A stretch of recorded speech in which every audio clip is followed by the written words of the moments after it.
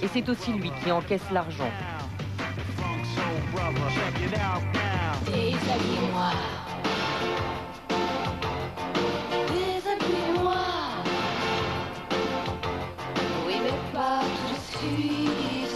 Il m'a dit à moi qu'il avait gagné 150 à 200 000 francs par mois pendant plusieurs années. Je pense que c'est assez vrai parce qu'il avait commencé par le Minitel Rose et ensuite euh, il avait le site internet. Si Lolo Ferrari connaît un certain succès en tant qu'artiste de cabaret, surtout à l'étranger, Lolo Ferrari, chanteuse de variété, ne fait pas recette. Son premier single, Airbag Génération, se vend à moins de 3000 exemplaires. Pour faire décoller la carrière de sa femme, Eric Vigne décide de mettre le paquet.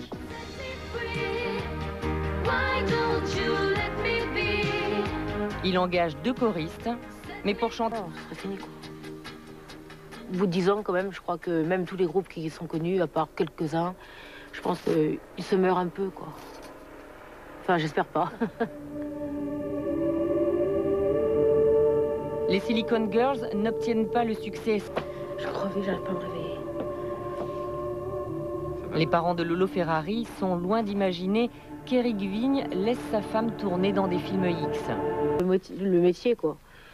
Donc euh, non, j'ai- j'ai- j'aime pas, moi j'aime pas.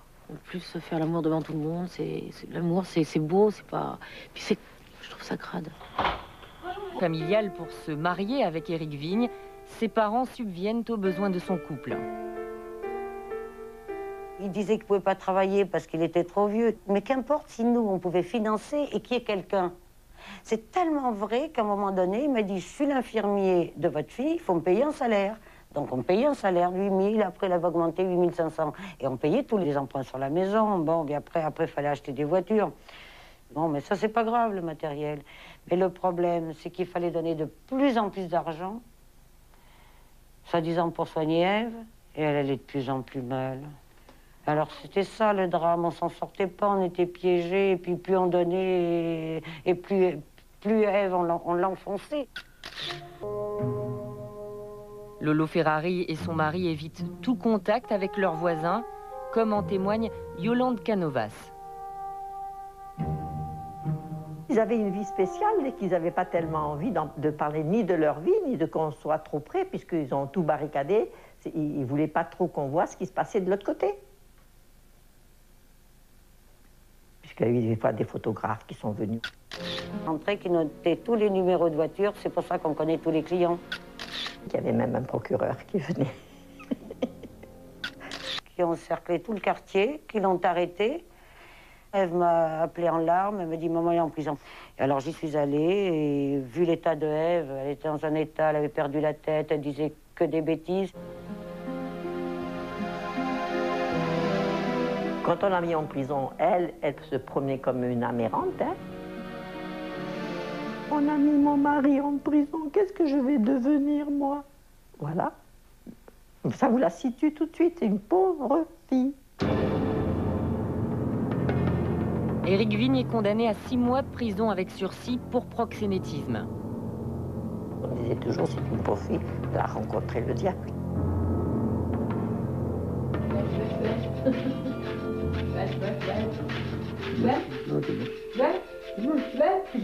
Dans ses rares moments de lucidité, Lolo Ferrari mesure toute l'étendue de ses échecs.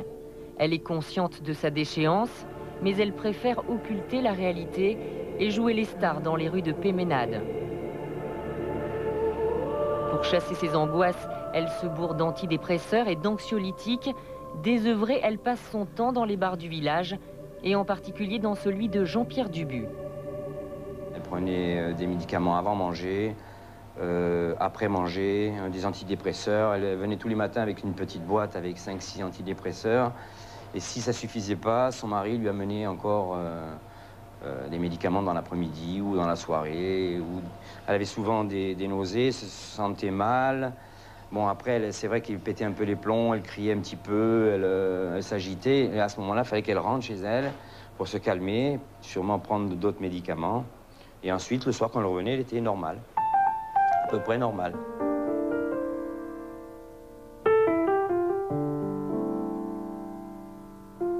parlait souvent qu'elle voulait se suicider, qu'elle voulait mettre fin à ses jours. D'abord, elle avait été voir, je crois, la personne qui s'est occupée de son enterrement avant pour commander un cercueil.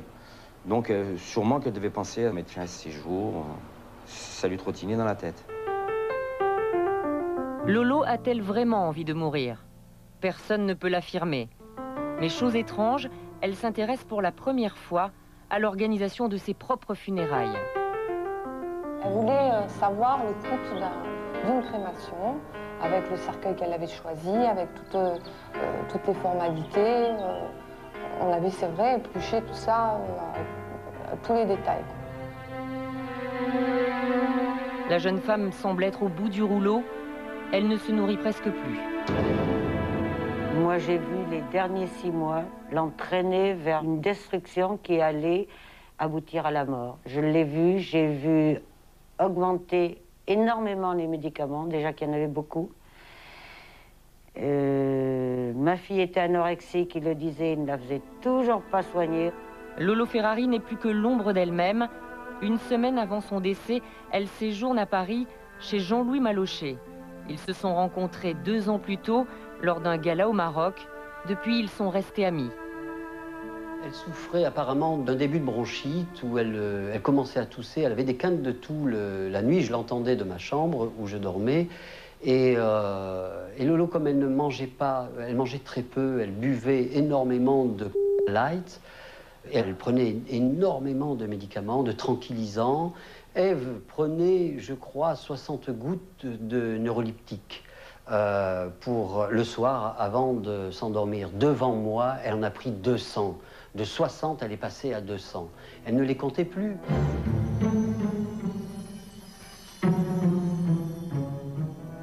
Lolo regagne sa modeste maison de Péménade sur les hauteurs de Grasse. Son état de santé s'est encore dégradé. Elle tousse de plus en plus. Je l'ai vue, euh, elle toussait, elle avait des problèmes respiratoires, c'est vrai, je l'avais vue, mais je ne pensais pas qu'elle euh, décède aussi rapidement.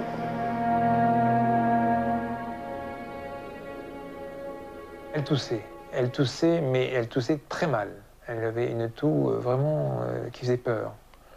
Une toux qui faisait vraiment très peur. Et ça allait de, de- de- de mal, en, de mal en pis. Malgré son état de santé inquiétant, Lolo décide d'aller dîner avec un client dont elle s'est entichée. Un ami du couple, policier de son état. J'ai senti euh, au téléphone qu'elle était véritablement désespérée, au fond du gouffre. Je dis bien au fond du gouffre. Et je la retrouve dans un état d'extrême fatigue. Je dis bien extrême fatigue, à savoir qu'elle n'arrivait pas à faire 10 ou 20 mètres sans être soutenue. Elle ne tenait pas debout. Elle avait une toux caverneuse qui l'empêchait de faire une phrase complète. Un, état d'extrême faiblesse. Et je lui dit, non, il est hors de question que ce soit nous, nous mangions ensemble parce que euh, tu es trop fatigué. Et par ailleurs, alors là je suis formel là-dessus, ce soir-là, à aucun moment, elle ne m'a parlé de suicide. Ce soir-là, alors qu'elle m'en parlait souvent, Le dîner tourne court. Lolo a un malaise. L'ami la raccompagne à sa voiture. Elle est arrivée à la maison à 10h30 en me disant Bébé, t'avais raison. T'as raison, hein. je vais très mal. Ben, je lui ai dit Je sais que tu vas très mal. Il faut que tu restes au chaud. Et si demain tu tousses encore, j'appelle cette fois-ci le docteur. hein. D'accord. Elle est montée dans sa chambre. J'ai, euh, je lui ai donné les médicaments que le docteur avait prescrits pour sa maladie. Ce soir-là, Éric Vigne dort au rez-de-chaussée sur le canapé du salon pour ne pas déranger sa femme. Je me suis réveillé donc à 8 heures. À 8 heures, j'entends rien. Je monte, je monte dans la chambre. Et puis, euh, j'ouvre la porte et je vois Eve qui dort. Puis là, eu un très, très, très sale pressentiment. Je suis rentré dans la chambre. Et puis là, j'ai dit, allez hop, je touche sa tête. Et alors là, c'était horrible. C'était c'était un glaçon. Mais un glaçon. Mais glacé comme, euh, comme en frigidaire. Quoi? Je savais que ma femme était morte.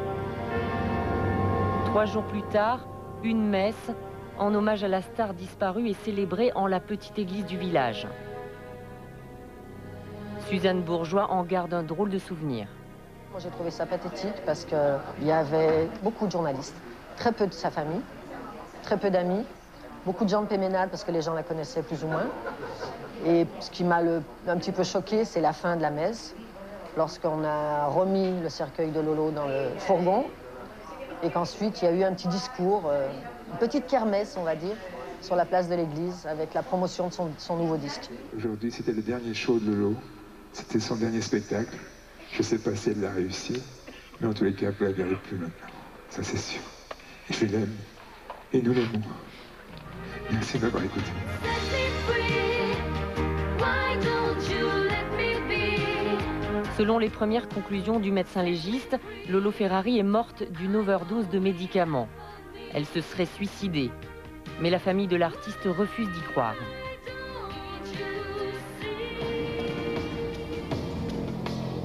Le 4 avril 2000, un mois après le décès de Lolo, le procureur de la République de Grasse ouvre une information judiciaire contre X pour non-assistance à personne en péril.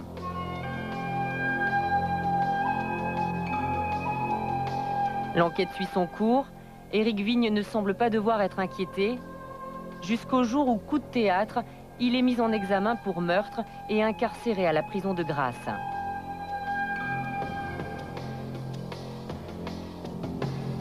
Les résultats d'une nouvelle expertise, deux ans après la mort de l'artiste, révèlent que les causes de son décès ne seraient pas uniquement médicamenteuses.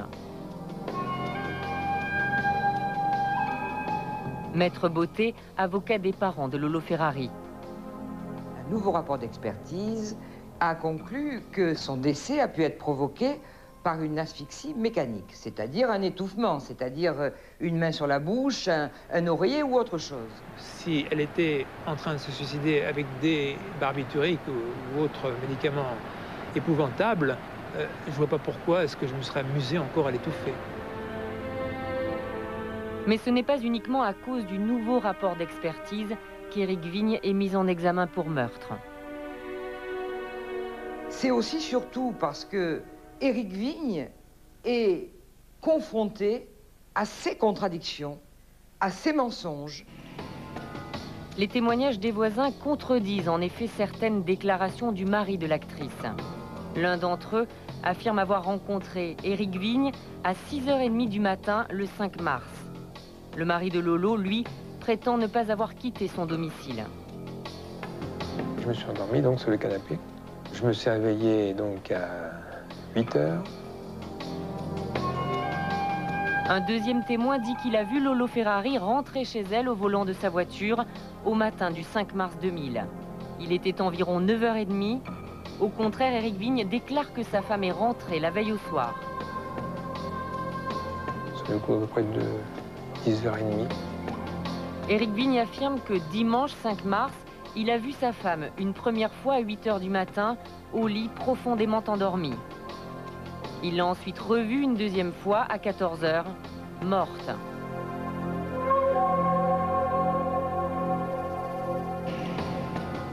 L'autopsie révèle que Lolo Ferrari a bu un café environ une heure avant sa mort, survenue entre 10h et 11h ce matin-là. À quelle heure Lolo Ferrari est-elle vraiment rentrée chez elle Pour Maître Poteau, l'un des avocats d'Éric Vigne, l'enquête est loin d'être terminée. Éric Vigne, effectivement, avait dit que son épouse était rentrée à telle heure, qu'elle serait rentrée, en fait, quelques heures euh, plus tard. Et c'est à ce moment-là, effectivement, qu'il a été mis en examen et qu'il a été mis en détention. Aujourd'hui, il a été remis en liberté. L'enquête se poursuit, mais il n'en demeure pas moins que les expertises médicales ne sont pas toutes d'accord pour déterminer les causes exactes du décès, euh, que les témoins eux-mêmes ne sont pas tout à fait d'accord, donc il y a un certain nombre d'incertitudes dans ce dossier qui doivent profiter, bien évidemment, à Eric Vigne qui a été remis en liberté. Coupable ou non coupable? Au village, les avis sont partagés. Trois ans après sa mort, Lolo Ferrari alimente encore les conversations. La première réaction des gens ici, c'était c'est pas possible, elle n'est pas morte naturellement. C'est drôle, hein Mais ça, c'est pareil, on ne peut pas se permettre de dire des choses comme ça. Hein Ou alors Mais je veux dire, ça a choqué tout le monde. il faisait d'elle ce qu'il voulait. Je ne vois pas pourquoi il allait la tuer.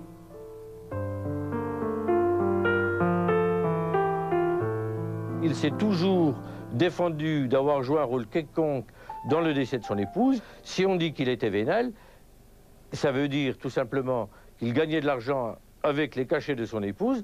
Je ne vois pas quel intérêt il aurait eu, effectivement, à faire du mal à son épouse, euh, puisqu'il partageait sa vie et ses cachets. Soupçonné de meurtre par la justice, non coupable pour beaucoup, Éric Vigne ne cesse de clamer son innocence. À ce jour, le mobile du crime n'a toujours pas été établi par les enquêteurs.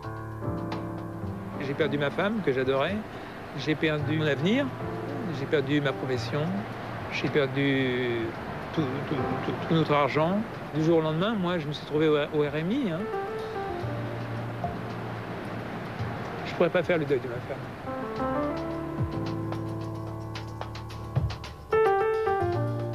Le premier